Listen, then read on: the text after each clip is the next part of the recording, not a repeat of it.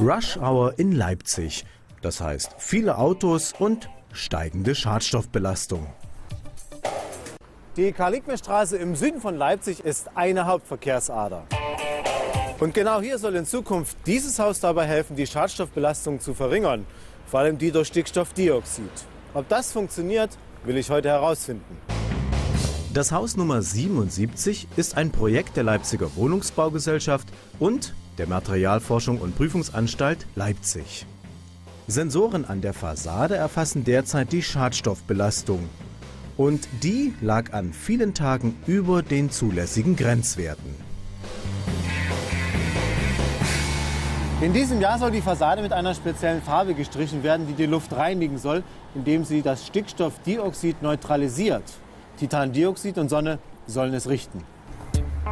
Titandioxid ist ein sogenannter photokatalytischer Stoff, der für die reinigende Wirkung UV-Licht braucht. Das weiße Pulver wird Farben, Putzen oder Beton zugefügt. Ortswechsel Erfurt. Auf dem Gothaer Platz liegen Pflastersteine, die Titandioxid enthalten und die Luft sauberer machen sollen. Und zwar so.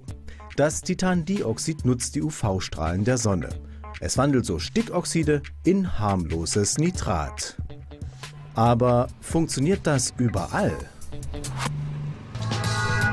Weiter nach Brüssel. In einem stark befahrenen Autotunnel wurde Ende letzten Jahres für einen Test an den Wänden Putz mit Titandioxid aufgebracht. Wissenschaftler, darunter aus Leipzig, wollten wissen, wie wirksam das Titandioxid ist, auch wenn so gut wie keine Sonne scheint. Zurück nach Leipzig.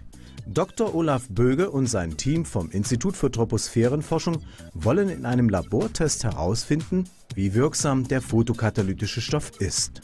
Dazu haben die Wissenschaftler eine Art Raumkapsel gebaut, eine große abgeschlossene Kunststoffhülle. Darin befindet sich eine Wand mit Putz, der Titandioxid enthält. Und Achtung! Die Sonne wird angeschaltet, genauer Lampen, die UV-Licht ausstrahlen.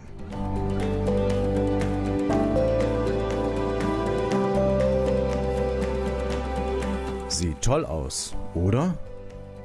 Aber genug gestaunt, jetzt will ich die Fakten. Auch wenn das Experiment noch nicht ganz ausgewertet ist, kann mir Dr. Böge schon eine Frage beantworten. Herr Dr. Böge, wie wirksam ist denn Titandioxid? Was hat denn der Labortest ergeben? Also in Laborexperimenten lässt sich zeigen, dass Titandioxid als Photokatalysator zum Abbau von Stickoxiden wirksam ist. Über die Größe dieses Effekts und die Bedeutung für reale Verhältnisse, also in der realen Atmosphäre, in einem Tunnel oder auch in einer Straße, kann man von Labortests natürlich nur eine begrenzte, präzise Aussage treffen. Also es wirkt, zumindest im Labor. Doch wie ist das nun in der Praxis? Zudem, wenn das Sonnenlicht kaum vorhanden ist.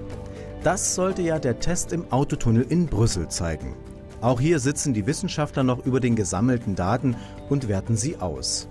Aber Dr. Böge darf mir schon etwas verraten.